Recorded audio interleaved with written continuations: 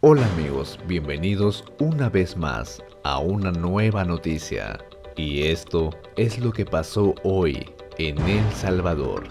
Así que con mucho respeto y seriedad del caso, te traigo esta información. Y si gustas apoyarme, regálame un like y suscríbete. Esta noticia empieza así.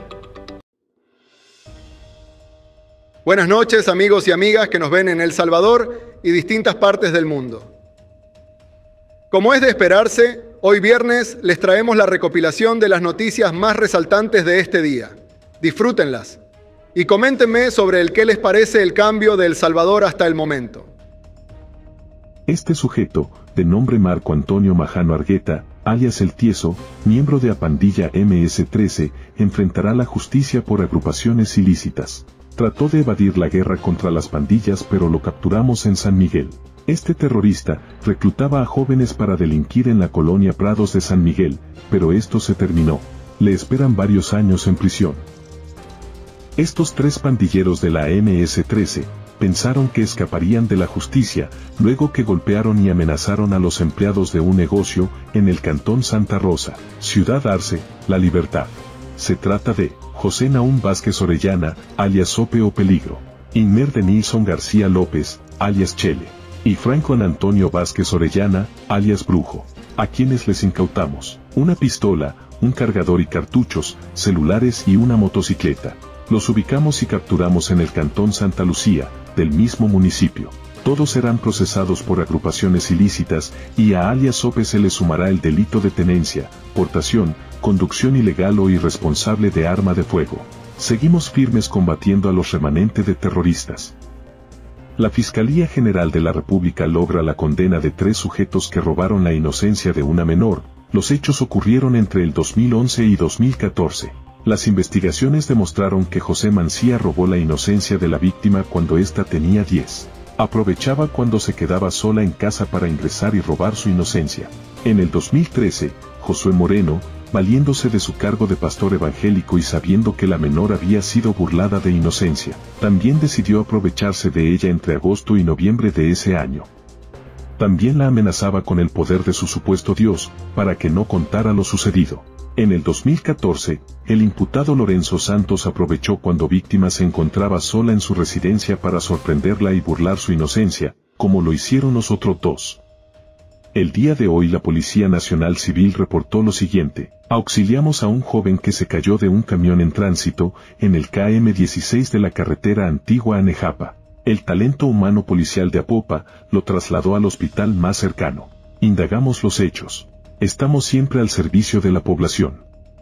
La Fiscalía General de la República da a conocer un B logro más consiste en que el pandillero Nausen Manzano de la MS-13 es ahora mismo condenado a 28 años de cárcel por el delito de haber mandado a la otra vida a varias personas. Manzano terminó con la vida de una persona, en un sentido violento. El recurso para su crimen fue un arma de fuego y luego enterró su cuerpo en un terreno ubicado en el caserío La Loma, municipio Seosicala, Morazán.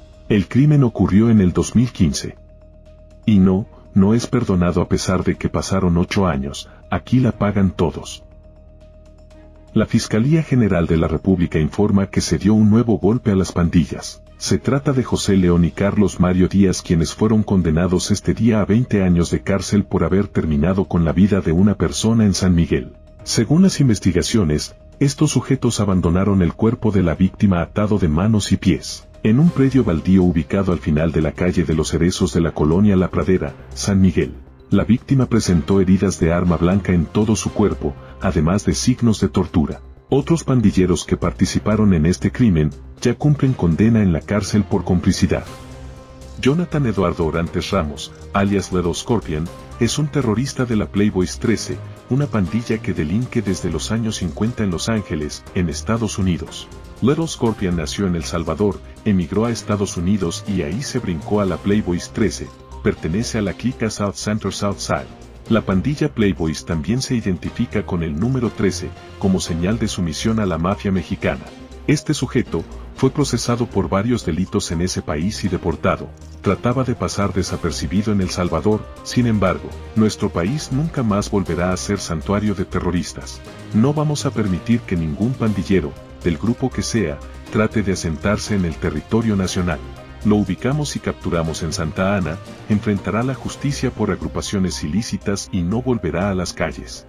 El SECOT le espera. Mucha satisfacción quiero expresarle de que se lograron y se obtuvieron todas las expectativas que Con el objetivo de garantizar que todo se desarrolle con normalidad el día de las elecciones, el Tribunal Supremo Electoral llevó a cabo el primer simulacro del voto nacional, en el cual podrán participar más de 5.4 millones de salvadoreños ejerciendo el sufragio en cualquiera de los 1.500 centros de votación que serán habilitados en el país en febrero del próximo año. Se puso a cero el sistema, eh, simuló como que se estaba votando en un desarrollo normal de elecciones, se enviaba la información al CNPRE, al Centro Nacional de Procesamiento, ahí se recibió de manera eh, veraz y de manera exacta los votos que se estaban remitiendo de cada uno de los centros de votación y eso obviamente pues que viene a dar certeza y de alguna otra manera tranquilidad a la población. Para este simulacro fueron tomados como muestra y activados 40 centros de votación a nivel nacional.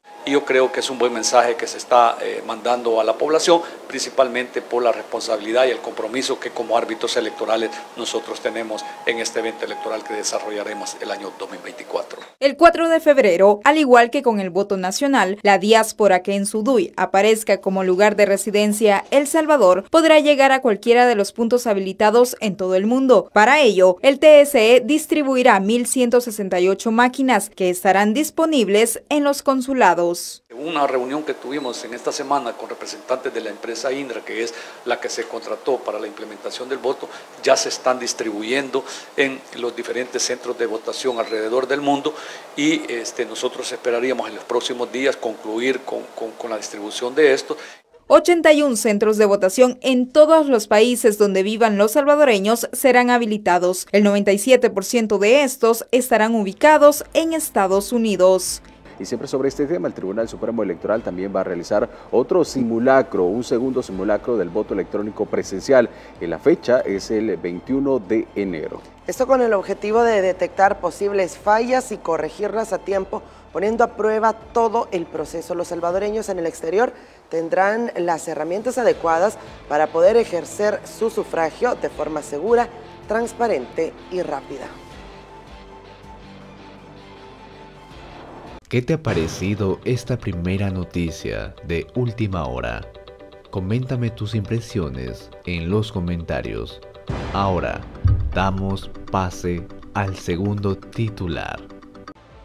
Destinar el 41% del presupuesto 2024 a estos rubros permitirá fortalecer el Consejo Nacional de la Primera Infancia, Niñez y la Adolescencia, el Instituto Crecer Juntos, el Programa de Mejora de la Calidad y Cobertura Educativa, adquisición de medicamentos, insumos médicos y vacunas, además de robustecer aún más el combate a la delincuencia. El presupuesto de salud, educación y seguridad para el próximo año asciende a un total de 3.694 millones y en estas tres áreas estamos creciendo en 224 millones aproximadamente. El presupuesto del próximo año tiene un enfoque hacia la inversión pública, que incluye un programa histórico que asciende a 1.790 millones de dólares para continuar con la transformación de la nación.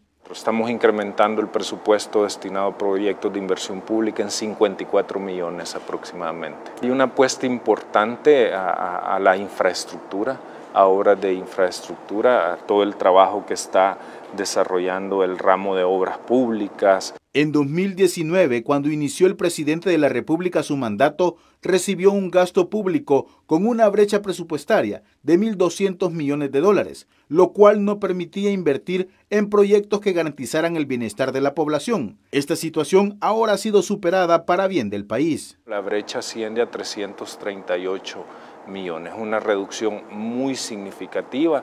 El año 2023 la brecha del presupuesto era de 476 millones, la estamos reduciendo aún más y esto pues significa menos endeudamiento para el país. En el 2024 se ejecutará un presupuesto disciplinado en materia fiscal que suma disposiciones como la prohibición para crear nuevas plazas, incrementos salariales en el Estado y la disminución en el porcentaje en la emisión de las letras del Tesoro o deuda de corto plazo, para enfocarse en atender las prioridades estratégicas de los salvadoreños.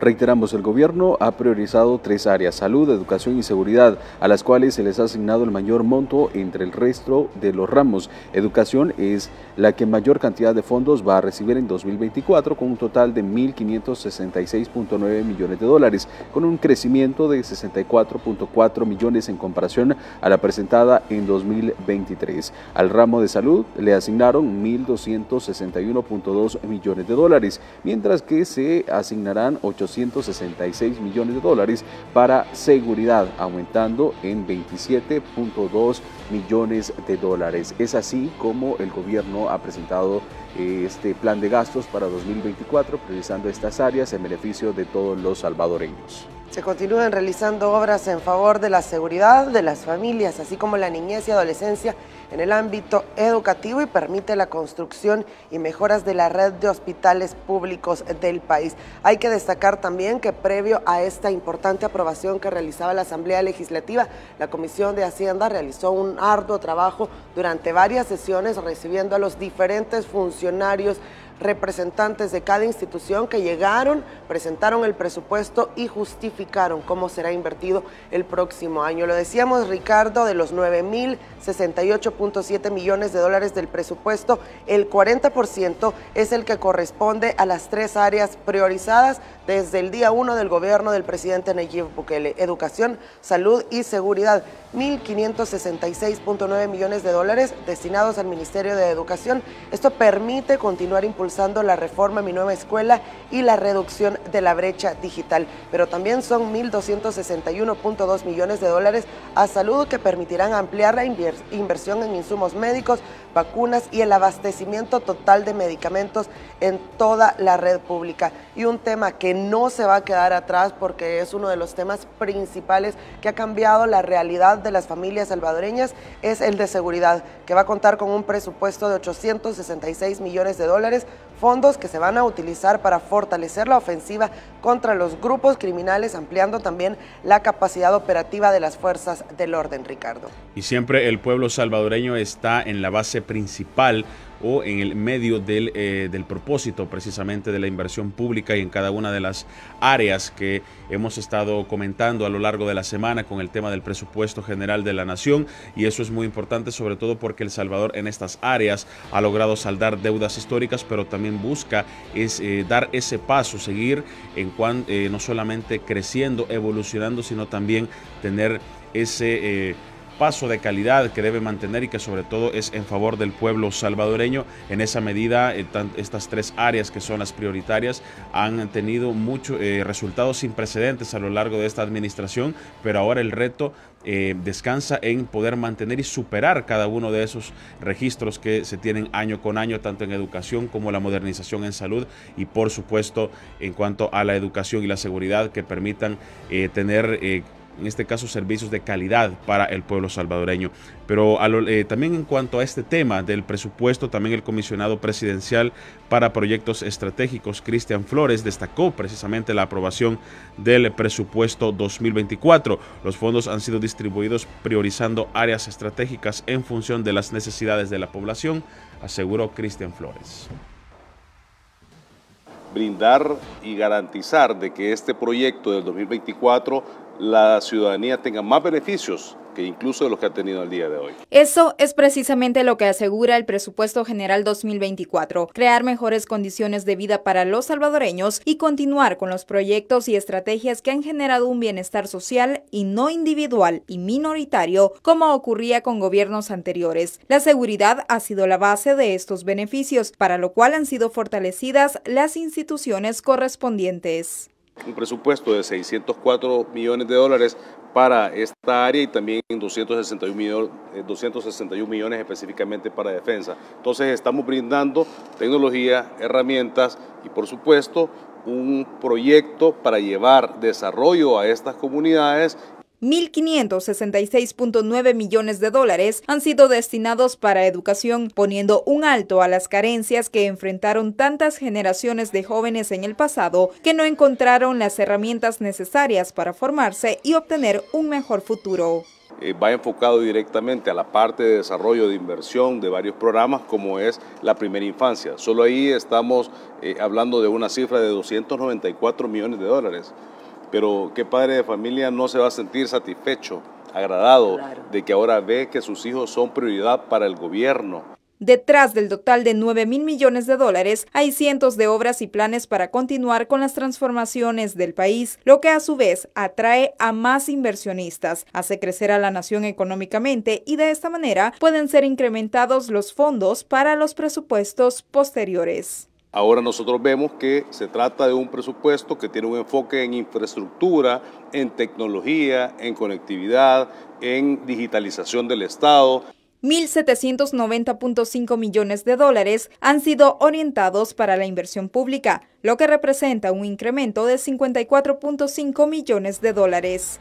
Hemos llegado al final de la información de estas noticias. Yo soy tu amigo Wilson Valencia y suscríbete para darte más información a diario sobre estas noticias.